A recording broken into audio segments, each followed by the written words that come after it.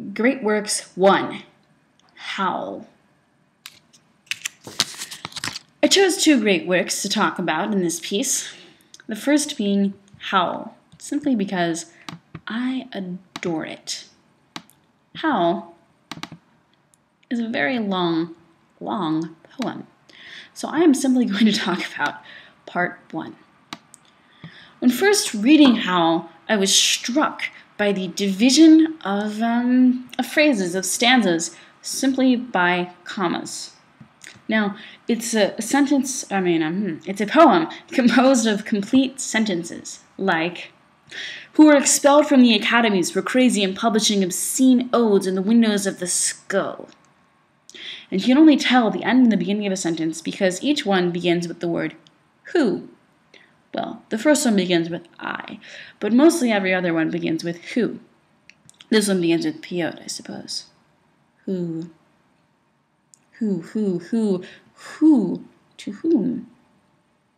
Later down at the bottom, it's a little bit more difficult towards the end of the section to figure out where the beginning of the sentence is. I think it might just be one long thing here, who dreamt and made incarnate gaps in time and space, their images juxtaposed and trapped the archangel of the soul between two visual images, and joined the elemental verbs and set the noun and dash of consciousness together, jumping with sensation of pater omnipotence deal, to create create syntax and measure the poor human prose and sound before you speechless and intelligent.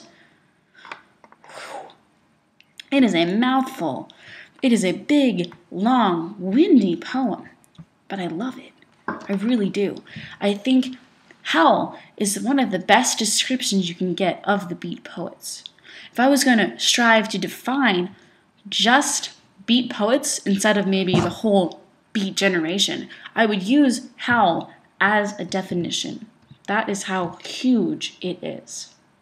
To look at little sections of the poem, like this, one of my favorite, favorite, favorite things is who vanished into nowhere Zen, New Jersey, leaving a trail of ambiguous picture postcards of Atlantic City Hall, suffering Eastern sweat and Tangerian bone grindings, and migraines of China under junk withdrawal in Newark's furnished room. Wow. New Jersey is not really the best place to be, in my opinion. I would rather be in New York than in New Jersey. Hmm. My family is from Pennsylvania, and it's always a joke made that New Jersey is the armpit of the East Coast. And Newark, especially, is not a great town. This I know. I stayed in Newark, in the airport really, but for a long time, waiting to go to Germany and to come back from Germany this previous spring break for my geography class. let me tell you, Newark is not so hot. It really isn't. But I love this stanza, snippet, phrasing.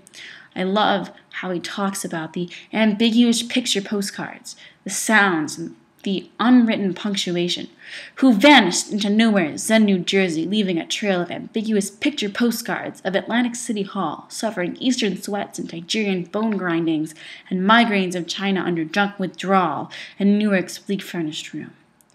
That inner rhyme happening there between junk withdrawal, Atlantic City Hall, picture postcards, Eastern sweats. I, I expect it to be like this really rhythmic bum bum bum bum. Bum and I guess I mean it really is. Picture postcards of Atlantic City Hall suffering Eastern sweats and Nigerian bone grindings and migraines of China under junk withdrawal and New York's bleak furnished room. Can really get into it. It's such an easy poem to associate with and not necessarily by subject, but by sound and feel and emotion. It's so alive. You have the previous two, who talk continuously 70 hours from park to pad to bar to Bellevue to museum to Brooklyn Bridge, lost battalion of platonic conversationalists jumping down the stoops, off fire escapes, off windowsills of Empire State, out of the moon, yakety yak yakking, screaming, vomiting, whispering facts and memories and anecdotes and eyeball kicks and shocks of hospitals and jails and wars, whole intellects disgorged and total recalls for seven days and nights with brilliant eyes and meat for the synagogue cast on the pavement. That last little phrase, meat for the synagogue, cast on the pavement. Such a, a striking, realistic image to me, being Jewish and thinking about meat, just whole slabs of meat thrown on the pavement. Meat for the synagogue, thrown on the pavement. And then you think about how the beats didn't want religion, they didn't like whole ideology. Just like Kerouac said, mysticism is their religion. So, meat, fresh meat, young men thrown onto the ground for their homosexuality, for their drug use. I'm running on reserve battery power.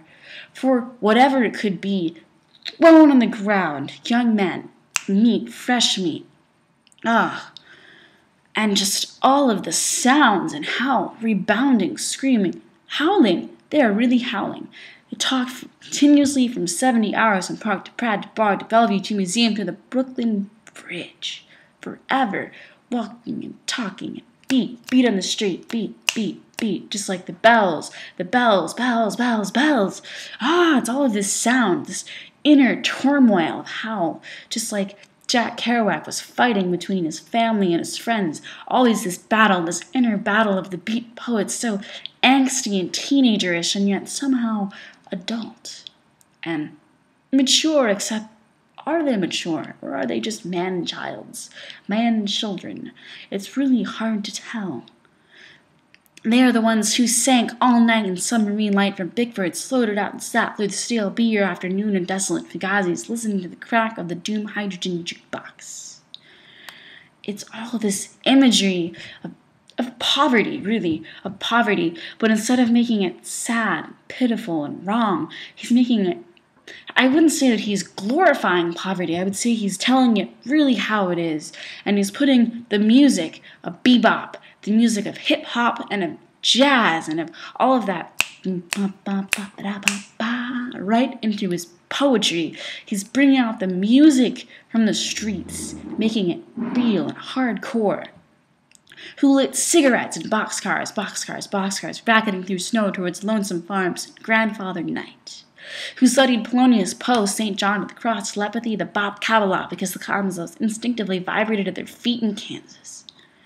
It's just this one, two, three, hit, hit, hit, hit and run, hit and move, quick, quick, quick poetry of Allen Ginsberg and Howl.